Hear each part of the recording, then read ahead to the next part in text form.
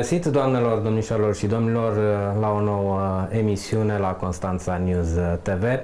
Astăzi, în studioul nostru, avem plăcerea să-l avem invitat pe domnul Septimiu Băurceanu, care este uh, vicepreședinte al Partidului Național Liberal, putem spune uh, câștigătorul uh, alegerilor locale pe plan uh, local, atât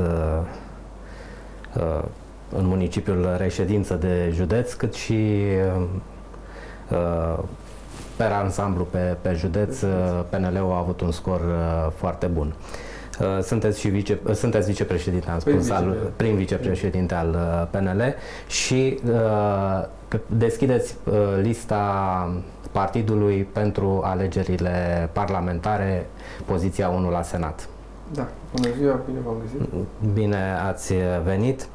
Înainte de toate, uh, pentru cei care nu uh, vă cunosc, v-aș ruga o scurtă prezentare a uh, omului Septimiu Borceanu, a activității sale profesionale. Sunteți una din poate o să se supere mulți, dar una din excepțiile care uh, vine în politică realizând ceva și uh, pe plan, uh, adică nu sunteți politician de meserie, ca să zic așa. Aveți uh, în spate un, o, o carieră profesională recunoscută și um, apreciată. Bine v-am găsit în primul rând. Suntem într-o situație în care pe care o trebuie să o traversăm la ora actuală vorbim de, mă refer la această pandemie, dar în condițiile acestea, uh, viața, norm, viața noastră decurge mai departe. Poate nu la fel de ușor cum era acum un an de zile, dar sunt convins că într-o perioadă de timp uh, lucrurile vor reveni în zona confortabilă, confortului personal pentru fiecare în parte. Acum, eu activez meseria mea, eu lucrez, lucrez în domeniul sanitar. Lucrez din 2005 în domeniul sanitar, am, uh, îmi place foarte mult ceea ce fac, sunt uh, bucuros că în jurul meu am, uh, fac parte dintr-o echipă cu care am făcut carieră împreună. Am învățat foarte mult unii de la alții și pot spune că suntem ca, ca o familie. 15 ani de activitate în domeniul sanitar îți dau posibilitatea să vezi eh, și plusurile și minusurile sistemului medical și eu sunt convins că sistemul medical românesc eh, are foarte multe plusuri, ceea ce îmi creează și o speranță că la un moment dat sistemul medical românesc va ajunge acolo unde, unde ne dorim. Despre mine cel mai bine poate să vorbească cei din jurul meu, eh, colegii mei, foștii mei colegi, de-a lungul timpului am schimbat uh, mai multe locuri de muncă, dar uh, cu siguranță mm, îmi place domeniul sanitar, sunt născut în domeniul sanitar, părinții mei sunt medici, am trăit în spitale uh, și viața m-a adus în situația în care alături de mai mulți oameni, o echipă, am condus unități sanitare. Cum ați ajuns în politică? Și de ce PNL? Eu am intrat în politică, eram foarte tânăr, dacă nu mă înșel, în 1996 și am intrat în PNL. Tatăl meu la vremea respectivă era membru PNCCD. PNL la vremea respectivă avea 7%, dacă vă aduceți aminte. Da. Am intrat în PNL Uh, undeva uh, la începutul anului, sfârșitul 1995, începutul anului 1996, ceva de genul acesta, și am uh, ajutat la vremea respectivă echipa PNL din, din comuna Baia și am câștigat primărie. La vremea respectivă erau foarte puține primării liberale în județul Tulcea. Partidul era tânăr, era la început și de atunci am rămas în Partidul Național Liberal, Uh, mi-am dorit întotdeauna să fac politică, Dar uh, de, am considerat că mm, ca să poți să faci politică cu adevărat, trebuie să ai o carieră profesională în spate. Să te poți întoarce, să ai unde să te întorci atunci când nu mai faci politică. Politica trebuie să o faci în sensul în care să îmbunătățești sistemele și pentru a ști cum se îmbunătățește un sistem, trebuie să cunoști, în primul și în primul rând, acel sistem. Din 1996 până acum am activat doar în organizația PNL, la Tulcea și la Constanța. Am ocupat diferite funcții în interiorul partidului, la tineret și la senior. Iar astăzi candidez la funcția de senat uh, din partea filialei PNL Constanța. Spuneați că ați venit în PNL în 95-96. Sunt asemănătoare oarecum uh, Uh, momentele uh, gândindu-ne la uh, faptul că și atunci și acum asistăm la o revenire a dreptei politice în prim plan. După o lungă perioadă în care știm foarte bine PSD-ul a condus cam în toată această perioadă. Știți unde pot după să anul spun 2000. că este asemănător? și la vremea respectivă și acum s-a schimbat o generație. O generație a preluat de la altă generație. Acum, cu bune curele, se întâmplă același lucru și acum. Important este să înțelegem un lucru. Electoratul ne critică dacă greșim, ne apreciază dacă facem lucruri bune, dar cu siguranță nu ne iartă dacă atunci când uh, nu reușim, nu ne ridicăm să mergem mai departe. Aici, bineînțeles, trebuie să fie o condiție, să faci lucrurile cu bună credință. Uh, eu cred că există momente bune și momente în care câștigi și momente în care pierzi. Este important să ai înțelepciunea când ai câștigat să, să ții pe toată lumea aproape de tine și când ai pierdut să fii primul care se ridică și mergem mai departe. Dacă faci politică pentru că așa simți, atunci așa ai să faci. Dacă faci politică pentru că consider că este un vehicul care ți-a, îți oferă o oportunitate, e greu să faci ce am spus mai devreme. Bănuiesc că realizați că așteptările, ca și atunci, în 96, Foarte când mult. Alianța Civică a venit... Uh, a venit, alia, a fost uh, uh, pe, acea alianță în care erau toate Exact, de, de dreapta, având, mă rog, ca imagine, simbol pe mm, fostul președinte Constantinescu, așteptările au fost foarte mari. Da.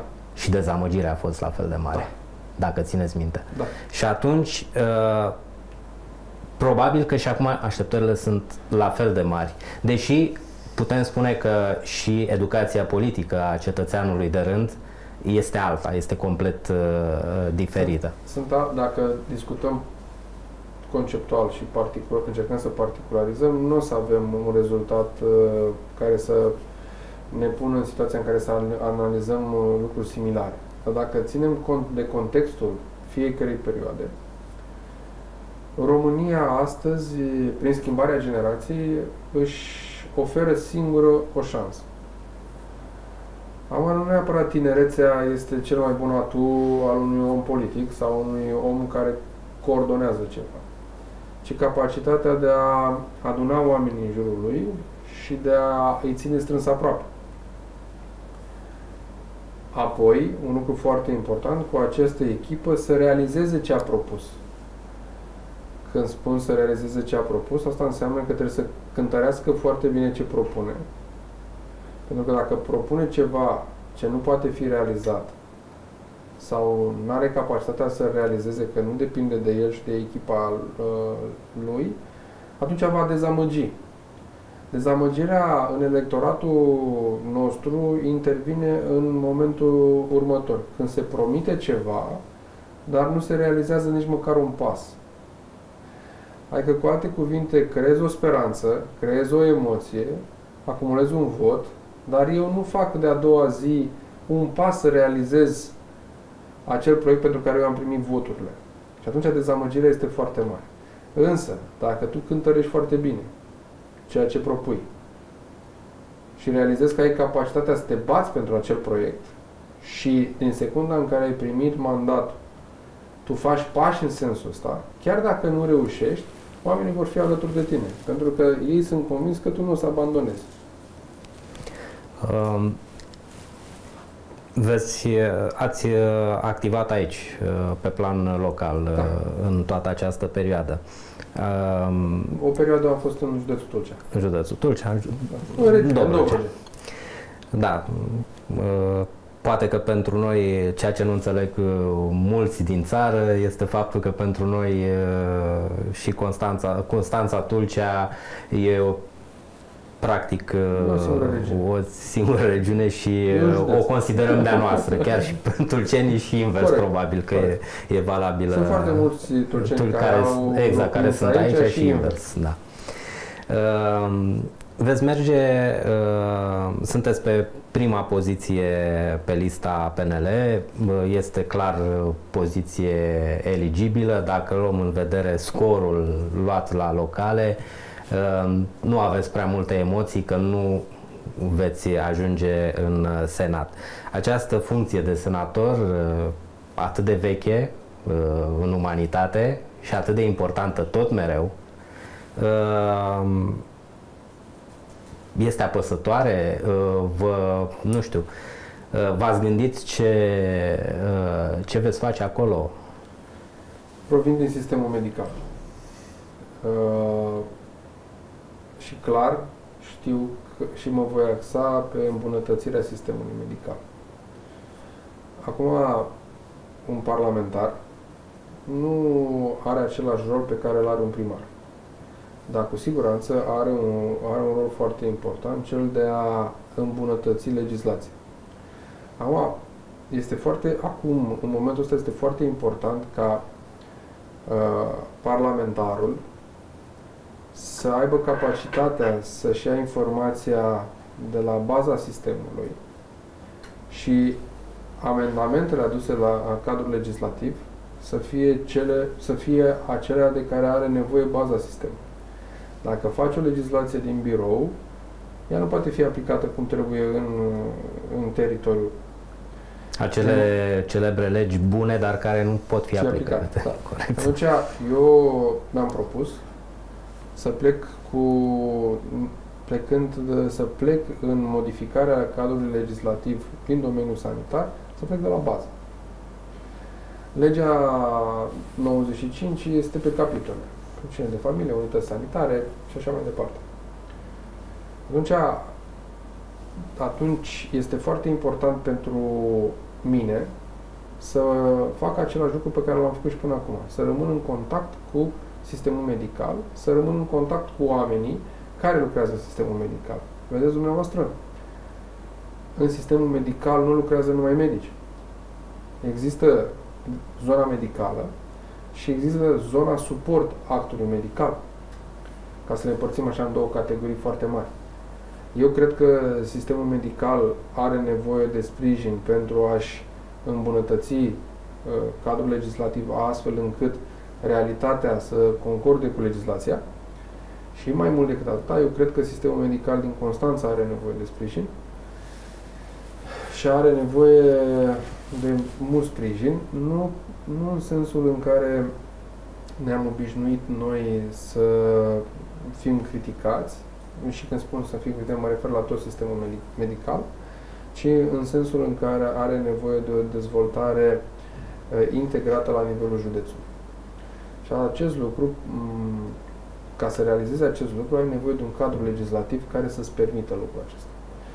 Uh, eu pot să vorbesc despre sistemul medical sau despre o unitate sanitară mult timp, pentru că, cum v-am spus mai devreme, îmi place, îmi place meseria pe care... Care este prioritatea numărul unu în momentul uh, de față pentru sistemul medical uh, din România?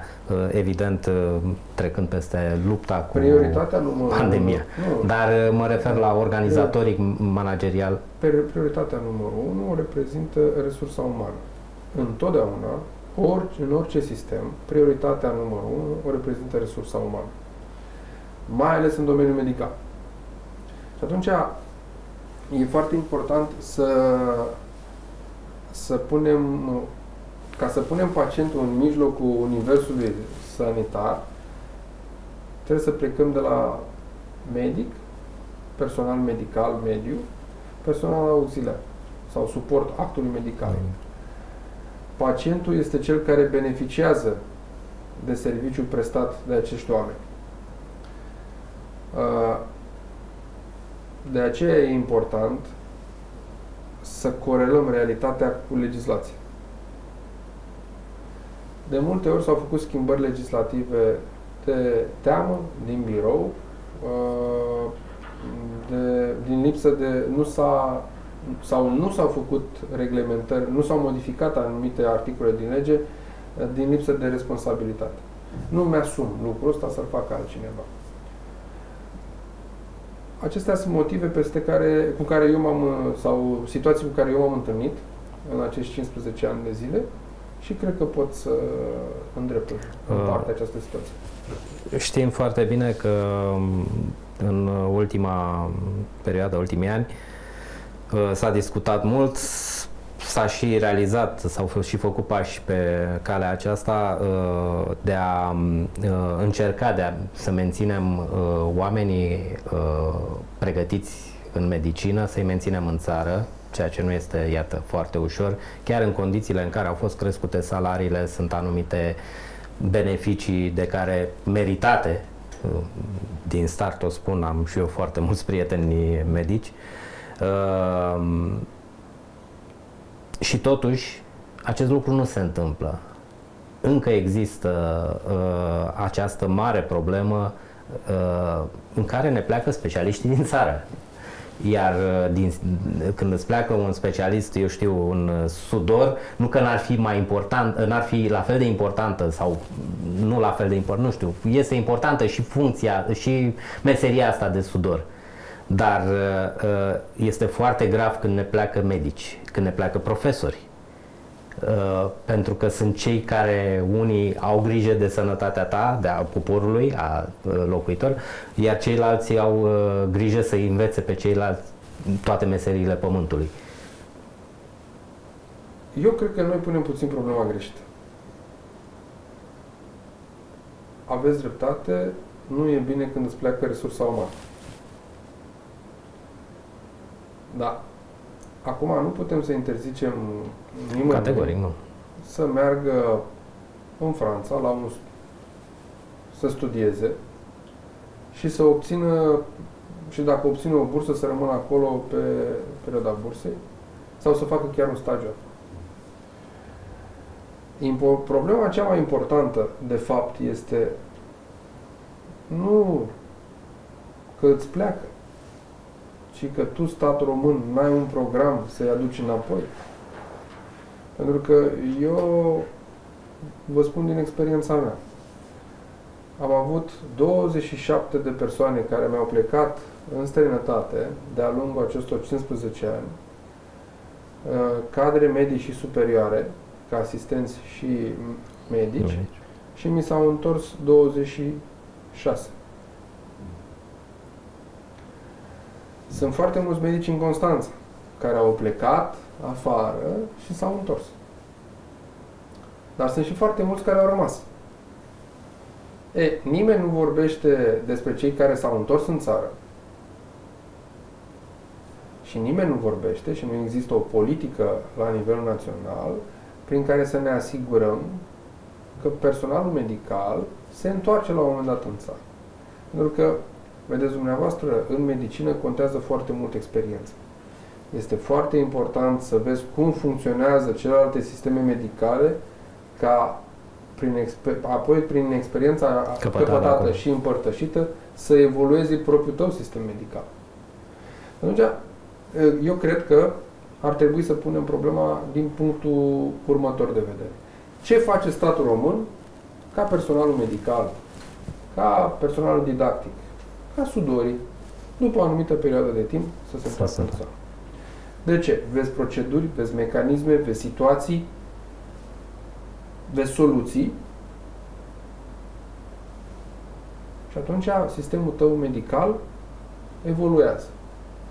Dacă discutăm de infra infrastructura în aparatură medicală sau infrastructura constituită din aparatura medicală, nu stăm cel mai rău. Nu stăm. Uitați-vă în județul Constanța câte RMN-uri sunt. Uitați-vă câte PCR-uri sunt. Uitați-vă câte ecografe, câte... Dar chiar și așa da. mai e loc de mai bine pentru că este, încă se stă foarte mult, se așteaptă foarte este, mult pe liste. Este loc uh, de mai bine. O să vă spun un secret. Peste tot se așteaptă pe liste. Este loc de mult mai bine de o organizare a infrastructurii, ceea ce am, de integrarea infrastructurii, da? și atunci să reduc timpii de așteptare, se, de acord cu dumneavoastră aici, avem mult de îmbunătățit aici. Da. Degeaba am aparatul dacă n-am omul. Dacă n-am o medicul care să pună diagnosticul. Corect. Da, și exemple avem destule de, atunci, de aparate care stau și, atunci, și nu sunt uh, folosite categoric.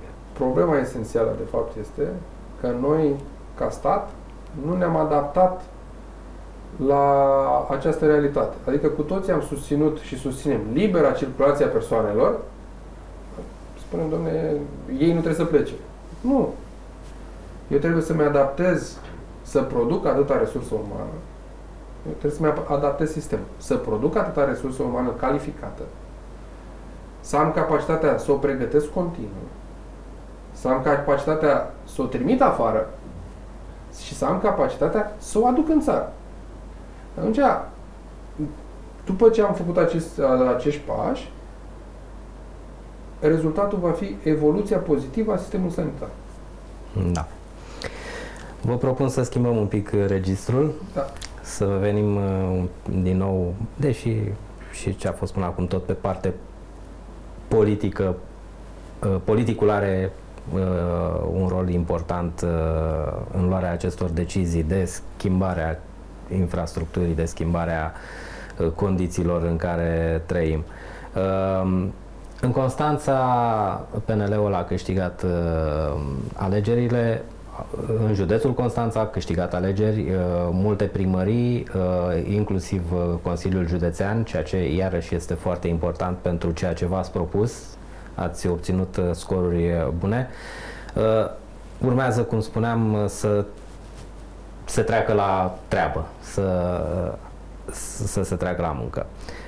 Desigur, PNL-ul nu poate singur să facă acest lucru, iar în opinia multora, uh, partenerul uh, cel mai logic este USR+. Uh, a fost o campanie, cel puțin pe plan local, destul de agitată între USR Plus și PNL, dar, mă rog, războiul a trecut. Este important pentru cetățenii Constanței Uh, să, să se treacă la uh, realizarea proiectelor care au fost uh, promise. Cum vedeți această situație dintre PNL și USR? Nu vreau să, mă rog, să readuc aminte acuzele venite din ambele părți în perioada campaniei electorale, așa e în campania electorală, se, dar înțeleg că a stat la masă cu cei de la USR și urmează să uh, Partidul decideți pe ce direcție se merge.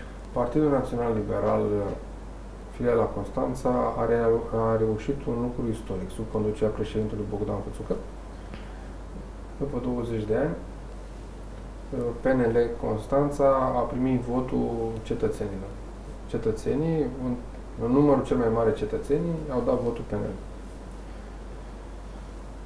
Este un rezultat istoric și o responsabilitate în același timp. În Consiliul Local, municipal, au intrat trei partide. Partidul Național Liberal, USR, USR Plus, Plus și PSD. Și PSD. PSD pe locul 3. Da. Eu și colegii mei suntem deschiși pentru o colaborare cu USR. Lucrul acesta noi l-am spus de foarte mult timp mai mult decât atâta, suntem într-un proces de armonizare a proiectelor pe, pe care să le susținem în cadrul Consiliului Local Municipal. Nu, acest lucru nu este un secret.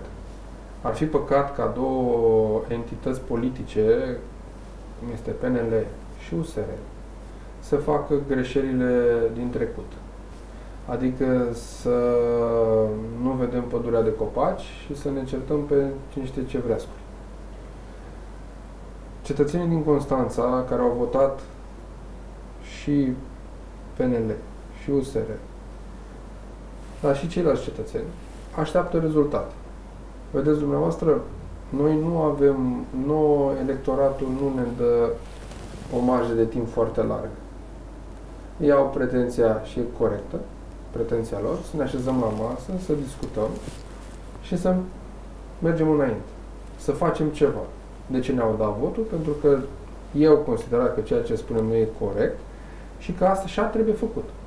Deci noi avem responsabilitatea proiectelor pe care ne le-am asumat pentru care am obținut votul. De aceea, domnul primar Gărgel Chițar și Mihai Lupu au sprijinul meu. Atât cât pot eu.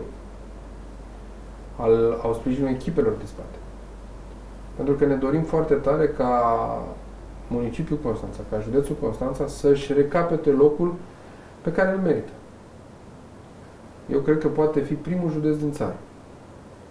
Ne ia ceva timp, ne va lua ceva timp să facem acest lucru, dar cred că dacă vom munci foarte bine, foarte organizat și uh, fără să pierdem timpul degeaba, vom putea recupera o parte din timpul pierdut, nu în totalitate. Însă Constanța are nevoie majoră de infuzie de muncă în administrație. Constanța are nevoie de o administrație suplă, deschisă către uh, atragere de fonduri europene, deschisă către atragerea investitorilor, deschisă către crearea locurilor de muncă. Cu cât creăm mai multe locuri de muncă, cu atât reducem decalajul între județul Constanța și alte județe dezvoltate din, din, din țară. Cred că ați văzut și dumneavoastră acel uh, studiu recent uh, vis-a-vis -vis de mai multe uh, sectoare unde Constanța stă rău de tot. Constanța are nevoie de infuzie de capital în domenii strategice, în infrastructură, în agricultură, în drumuri, în sănătate, în cultură, în fonduri europene, în transporturi. Județa, județul Constanța fiind unul dintre cele mai binecuvântate județe ale, ale țării. Dar acest lucru nu se face peste noapte, se face cu foarte multă muncă, fiecare la locul lui, iar constanțenii au această pretenție. Vor rezultate, ceea ce e normal. Dacă ar fi să-mi dați, eu știu, trei exemple de proiecte uh, în care ați văzut uh, că mergeți pe același drum cu USR Plus, care, e, care ar fi acestea? Adică a stabilit niște priorități uh, acum pe termen cât se poate de scurt, pentru că e clar, la proiecte discutăm de ani.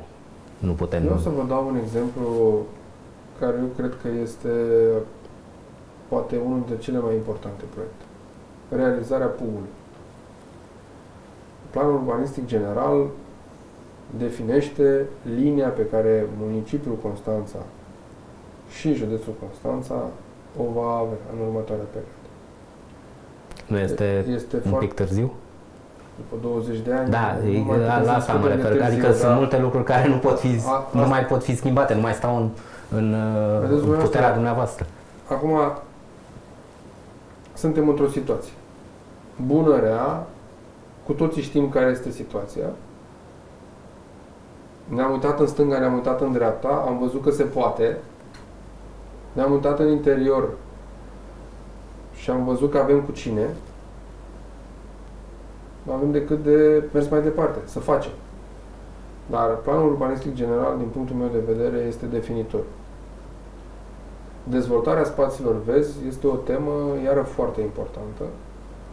Județul Constanța are nevoie de foarte multe împădurire municipiul Constanța și dacă ne uităm în viitor, municipiul Constanța are, are nevoie de plămâni, pentru că municipiul Constanța este un municipiu care, din perspectiva mea, se va dezvolta foarte tare. așa îmi doresc, așa îl văd.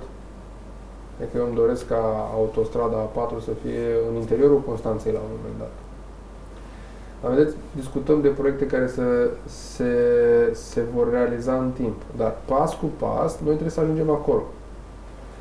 Cu cât creăm mai, creăm mai multe locuri de muncă, cu cât creăm o, o unități administrative teritoriale care aduc confort celor care locuiesc, cetățenilor care locuiesc în, pe, în arealul acestor OAT-uri, cu atât județul se va dezvolta mai bine.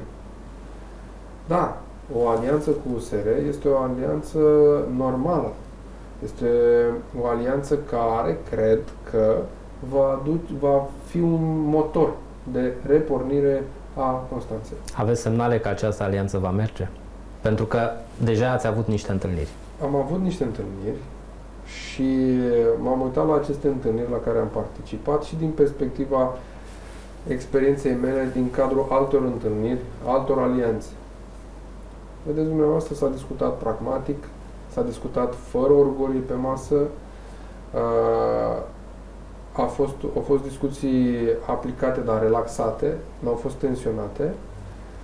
Ne-am spus la începutul discuțiilor cam fiecare ce a avut de spus bărbătește, dar a fost o chestiune care a luat puțin timp și apoi am început să discutăm pragmatic. Am luat programul nostru, programul USR-ului și suntem în continuare în discuții, dar din punctul meu de vedere, discuțiile merg într-o zonă pozitivă.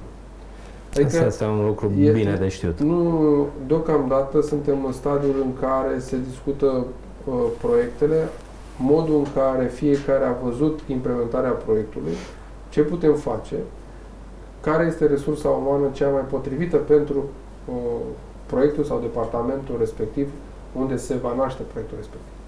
Ați făcut mai devreme o enumerare a uh, sectoarelor a, uh, unde Constanța are uh, mari probleme.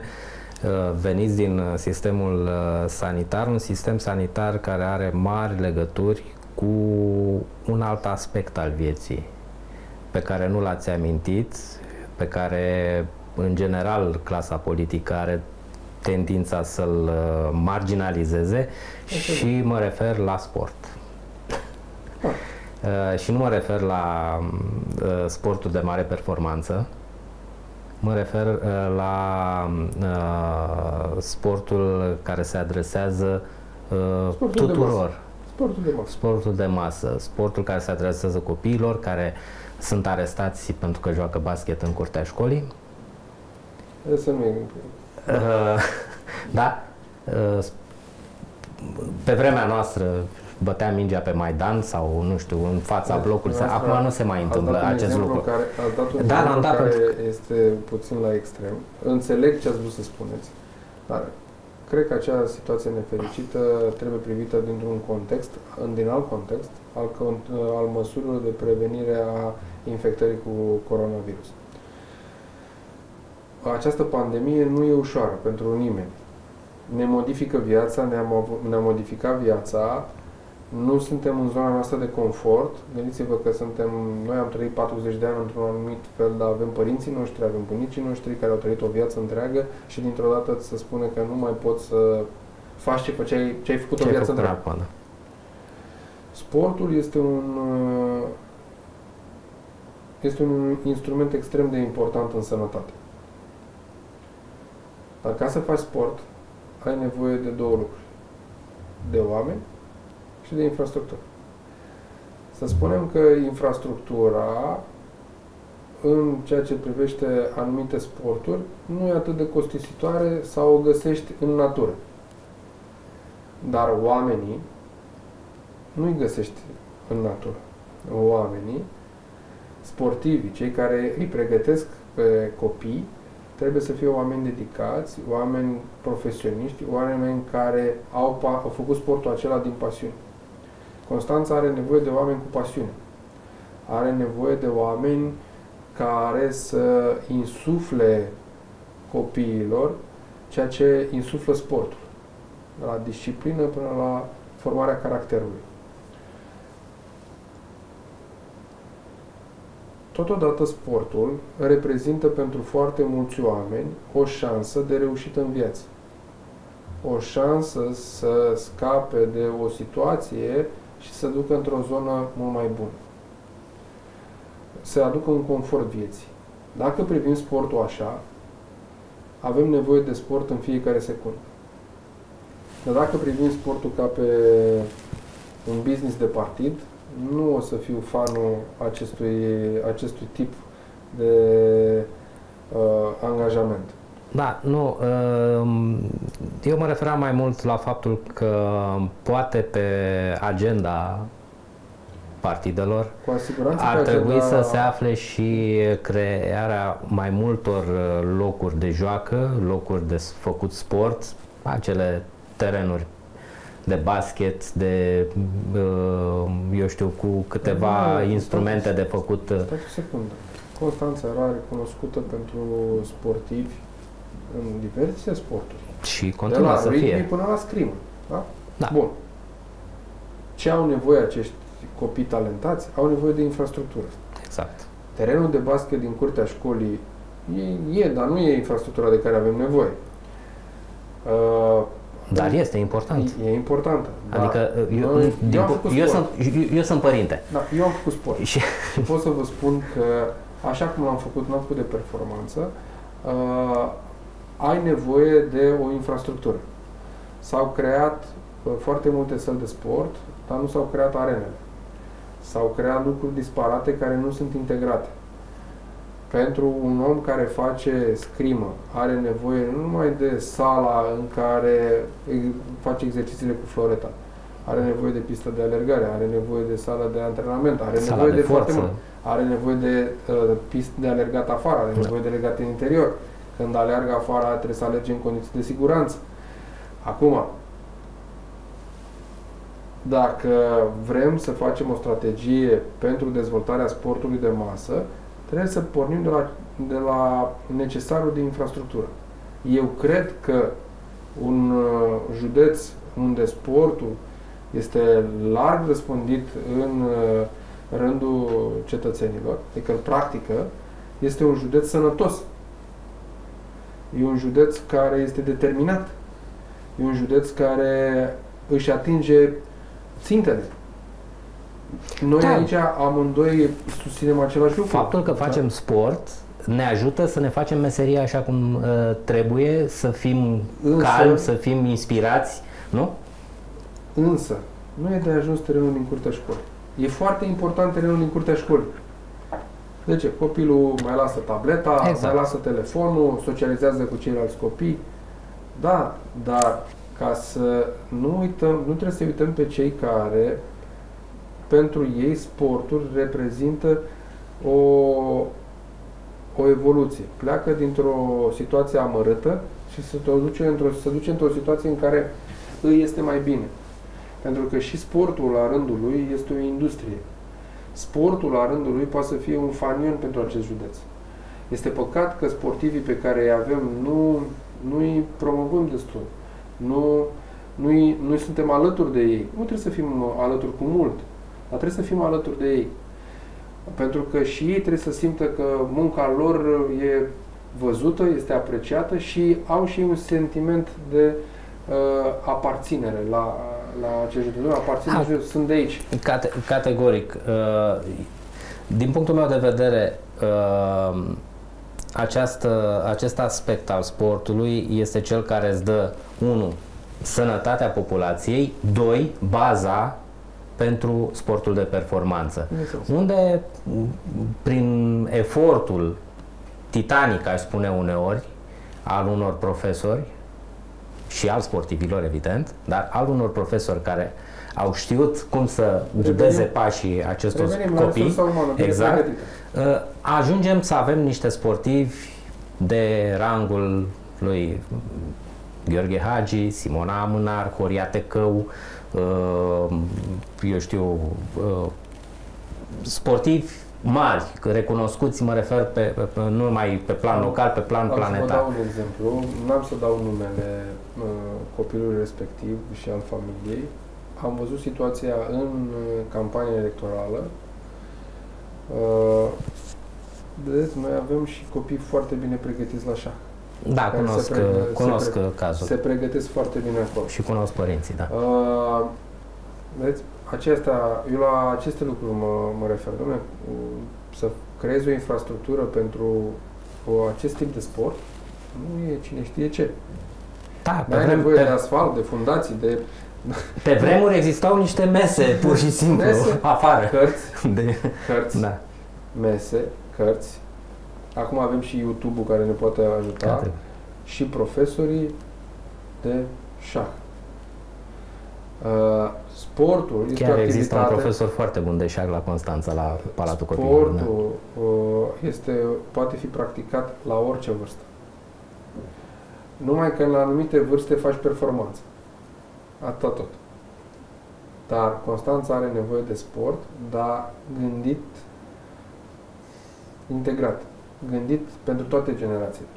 Da, eu sper ca actuala administrație locală să dea o importanță mai, mai mare sportului și copiii să aibă unde să, să-l practice. Că până la urmă asta este important. Deocamdată părinții sunt sponsorii sportului românesc, fără doar și poate. Adică dacă vrei să ai un copil care face sport, trebuie să plătești pentru asta, Dar ceea s-a ce nu mi se schimbat pare nimic normal. în Da. 35 de ani. Uh, Ne apropiem de finalul discuției și uh, aș vrea să revenim la partea uh, candidaturii dumneavoastră și a uh, colegilor din uh, PNL. Pe ce scor mizați la Constanța, la parlamentar? Pe un scor foarte bun. Ce înseamnă asta? Eu cred uh, că avem șansa, venind cu o echipă tânără, cu o echipă cu... Am demonstrat în ultima perioadă că am învățat din greșelile trecutului, că putem miza pe un scor uh, at- uh, de... sau putem miza pe încrederea cetățenilor, astfel încât să obținem 5 deputați și 2 senatori. 5 deputați și 2 senatori. Uh, da, uh, am văzut și eu lista dumneavoastră, se regăsesc într-adevăr multe nume uh, tinere, num- nume noi, nume care au realizat uh, ceva pe plan profesional, dar și în plan politic. Sunt și niște nume mai vechi, care, mă rog, opinie personală, probabil că la un moment dat uh, vor dispărea, pentru că este evoluția, cum spuneați. Uh, E cazul probabil ca toată clasa politică să uh, sufere această schimbare care deja s-a produs uh, la nivel de Schimbarea de- reprezentare. Schimbarea de generație nu se produce nici- sau în cele mai multe uh, cazuri nu se produce brusc. Da, am văzut și la Nu fotbal că nu e există bine o- să o facem. O- Trebuie să existe o, un anum- o anumită perioadă de timp. Da. Uh, Eu vă mulțumesc pentru vă prezența mulțumesc pentru în invitație. studioul uh, Constanța News uh, TV. Uh, Sper ca um, așteptările constanțenilor uh, în ceea ce privește administrația uh, liberală să fie îndreptățite și să fie uh, să primească uh, acel, uh, ace- acea împlinire pe care o așteaptă toată lumea. Uh, Oamenii sunt un pic, uh, știți, uh, sătui. Da, Nu mai Vorbeam- au încredere. Vorbeam zilele trecute cu cineva care uh, mă întreba cum, în urma acestor alegeri, cum am simțit electoratul. Zic, "Nu, Electoratul este același. Electoratul este, a fost dezamăgit în mai multe Ani de, rânduri. ani de la rândul, Au da? fost și oameni în care au avut încredere și au performat, au confirmat încrederea, dar uh, electoratul astăzi este un electorat uh, mai pragmatic, mai atașat de realitate, care nu mai înghite foarte multă răjeală Gargar. uh, și așteaptă rezultate. Și mai mult decât atâta, așteaptă să te străduiești să atingi acele rezultate. Uh, Asta este diferența dintre generația de astăzi și generația din 1996. Generația din 1996 avea speranța că se vor face lucrurile Și chiar certitudinea pentru mulți dintre ei. Da, domnule, gata, s-a rezolvat, da. e așa. Și acum există acel uh, electoratul privește politicienii uh, pe bază de indicatori de performanță. A realizat sau nu a realizat? A mințit sau nu a mințit? A mai trecut pe aici sau nu a mai trecut pe aici? De câte ori a trecut? Păi a trecut dată la patru ani. Eh. Deci te-ai înscris în... A trecut odată la șase luni. E altceva. Mm. Și atunci a, a trecut. Ce a făcut? Ne-a adus un feedback. S-a văzut. A mai, da. un, a mai făcut un pas înainte. A făcut doi înapoi. Ce s-a întâmplat? Atunci această da. comunicare cu electoratul... Lumea așteaptă, lumea așteaptă ca uh, viața să se îmbunătățească, este ceva normal. comunicare cu electoratul astăzi este extrem de importantă. Există tehnologia care ne ajută foarte mult, dar tehnologia nu poate, utilizarea tehnologiei trebuie făcută în așa fel încât să menții contactul cu, cu electoratul, nu să te îndepărteze de electorat. Deci eu cred că atunci când ai ceva de zis, trebuie să spui, dar dacă n-ai de zis, nu, Mai nu pe paginile da. de Facebook cu texte care nu au nicio valoare. Încă o dată vă mulțumesc pentru uh, prezență. Vă mulțumesc. Vom uh, vedea cum vom de, vor decurge lucrurile și sper ca la următoarea întâlnire să uh, avem uh, și lucruri concrete despre care să, să discutăm. De-abia aștept. Doamnelor și domnilor, aici se încheie ediția de astăzi a emisiunii de la Constanța News TV. Adrian Florea și Paul Alexe vă mulțumesc pentru atenție și să ne revedem cu bine data viitoare.